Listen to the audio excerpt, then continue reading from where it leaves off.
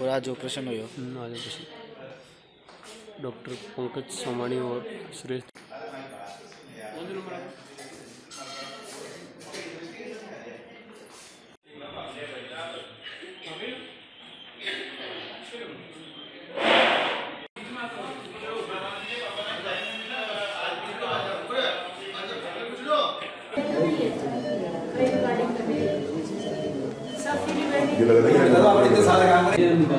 नहीं किसी को समझ में नहीं क्या मतलब मैं गाली भी निकालूं मेरे मुँह भी खराब है अगले को समझ नहीं आवेगा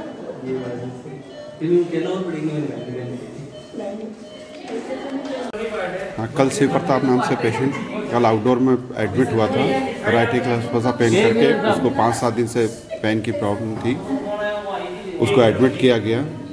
और इन्वेस्टिगेशन कराए। उसको अपेंडिसाइटिस डायग्नोज किया गया और आज उसको ओटी में ऑपरेट किया गया।